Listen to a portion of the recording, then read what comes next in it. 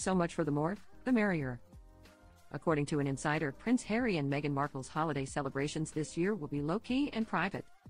They are expected to just spend the holidays with her mom, says the source, referring to Doria Ragland. Their circle has become very small since they moved to Montecito, California in 2020.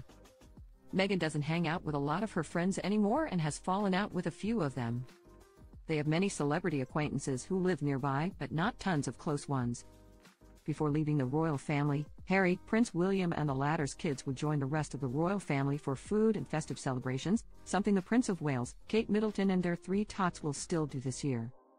But since the Sussexes have had zero contact with the monarchy, they were reportedly snubbed an invite. Instead, a source claimed Queen Camilla's adult kids and grandchildren are taking their place at the annual shindig. This holiday season will be difficult for Harry and Meghan. They've all but been forgotten, the insider added. Their failed business endeavors are only adding to their list of troubles, but a source told a news outlet they're getting ready to rebrand themselves. What we're seeing, and we'll see more of, I think, is Hagen 2.0. Part 2. They know of their supposed failures and how it's viewed, but they have almost gone more tech than Hollywood. They have swapped in and out all sorts of projects and people and are embarking on a total system reboot, they added. Though there have been rumors about the Suits alum reviving her blog The Tig, biographer Omid Scobie claims she's working on something more accessible, something rooted in her love of details, curating, hosting life's simple pleasures and family. I'm not being deliberately mysterious, he insisted in an interview.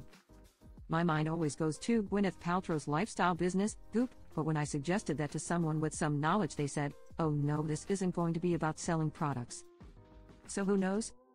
The next Martha Stewart? Another factor of their relaunch is a possible move from Montecito to Malibu, but one source claimed the parents of two may even look to buy property in England as well since King Charles evicted them from Frogmore Cottage earlier this year.